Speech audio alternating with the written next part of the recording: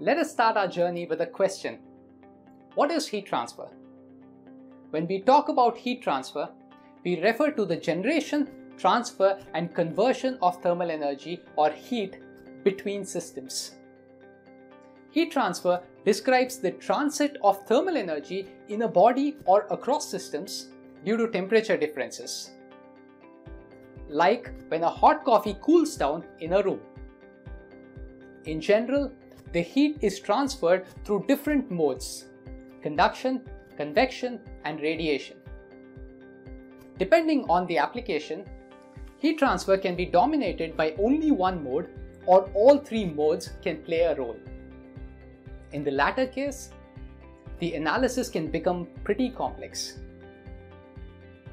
When studying or designing systems that involve heat transfer, engineers and scientists need to understand the physical mechanisms of heat transfer and be able to apply the heat transfer theory to analyze and quantify the heat in those systems. Applications of heat transfer are countless across all industries and in everyday life. From chemical processes to the oven we use to bake a pizza. Let us analyze some of these applications and get an idea of the broad spectrum of systems where heat transfer is important. Whether you warm up your room during winter or cool down the temperature during a hot summer, you take advantage of heat transfer. Heating, ventilation, and air conditioning or HVAC systems use heat transfer to heat up or cool down the air that is then ventilated in the room. HVAC systems control the temperature of houses, offices, and vehicles. Speaking of which, you may have heard about the car radiator. That is a heat exchanger system that uses two fluids separated by a solid wall like a metal tube to enhance heat transfer in the system. The car radiator uses the external air to cool down the liquid that passes through the engine so that we can avoid overheating. Heat exchangers are used in petrochemical and chemical plants and even in a common refrigerator.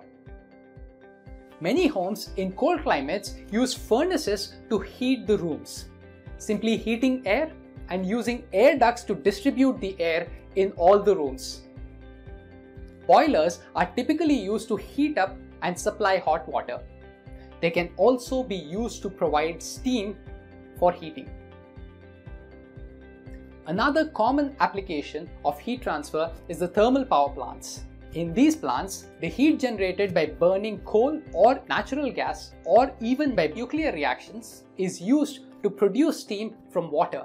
The high pressure steam is then used to move generators to produce electricity. Nowadays, we are surrounded by electronic products such as smartphones and computers. Their internal components naturally heat up during operation this is a byproduct of the resistance of circuitry that the electric current has to encounter. Electronic cooling is extremely important to avoid overheating and maintain the electronics operation. It can be a serious challenge in tightly packed electronics like smartphones where heat cannot be removed using fans.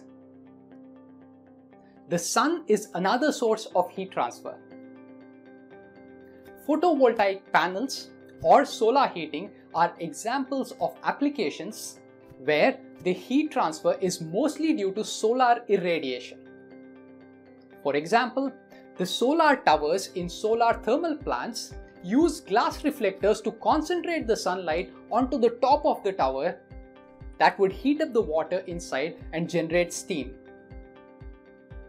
Heat transfer is not only a terrestrial thing, we can still have heat transfer in outer space. The only mode of heat transfer through vacuum is radiation. Satellites and spacecrafts can only shed internally generated heat through radiation, and this poses several challenges in the design of such vehicles. Now that we have a broad view of applications of heat transfer, let us move to the next lessons to learn the theory of heat transfer.